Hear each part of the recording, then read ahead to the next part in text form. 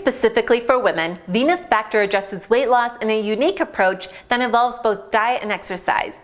The program was developed by John Barban and lasts for 12 weeks. According to Barban, it is the level of leptin in the woman's body that is directly responsible for their ability to lose weight. However, because they typically try to diet like men, these levels are often thrown off, which means they are doing more harm than good. So Barban created what he calls the metabolic override, MOR, which he contends to work so well that a cheat day is therefore allowed. Dieters using the Venus Factor program will likely lose weight if they can stick to the program. The program requires a good amount of extreme exercise and a diet plan that cannot be deviated from. Therefore, any dieter who expects long-term success will have to remain true to the Venus Factor. The Venus Factor is a digital product.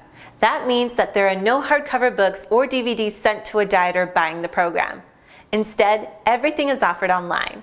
While some view that as an advantage in that they get it now, others might not like the fact that they have nothing physical to own. In addition, the workouts that the Venus Factor requires can be very difficult. Those who are new to the world of fitness may struggle. The same goes for the restrictive diet.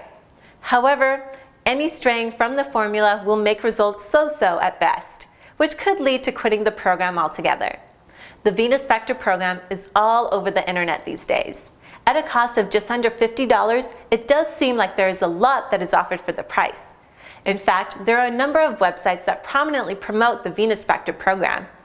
However, when you look closely, you'll see that the main website of the Venus Factor offers an affiliate program. So that leads to belief that much of the praise associated with these sites is due to the fact that they get money from Venus Factor when their visitors buy their system. As a matter of fact, they get a 75% commission.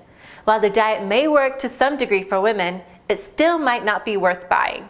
There are many other comprehensive programs on the market today that also offer guidance in both diet and fitness, but don't rely on paying other websites to promote them. Stay up to date with my latest health and weight loss videos. Make sure to subscribe. So click here.